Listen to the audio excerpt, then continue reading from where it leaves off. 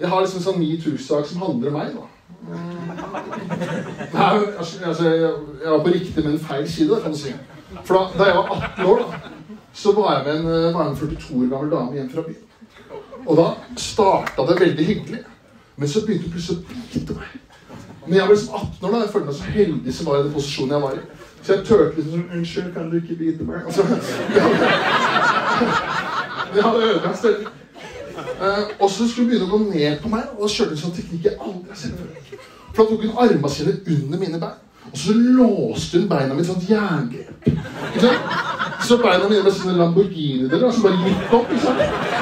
Så jeg lå der i senga som en Tesla X. ikke sant? Og det var helt jævlig.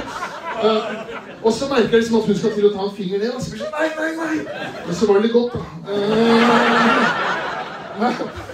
det, det, var på en måte ikke så godt at jeg ville ut av situasjonen. ikke sant? Men jeg lå der sprella som en fisk på land.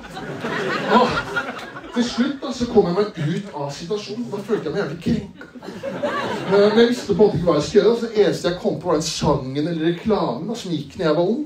Så for eksempel, jeg hopper da naken opp av senga sånn Stopp! Her er min kropp. Her, her går mine grenser. Nå setter jeg ring rundt meg selv. Og hun tok jo ikke det seriøst i det hele tatt. Hun bare lo meg på ansiktet.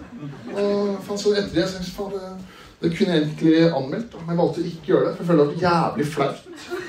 Og komme ned på politistasjonen og sånn, fortell meg, hva er det som har skjedd? Så bare, Nei, jeg, jeg har fått en finger i rumpa.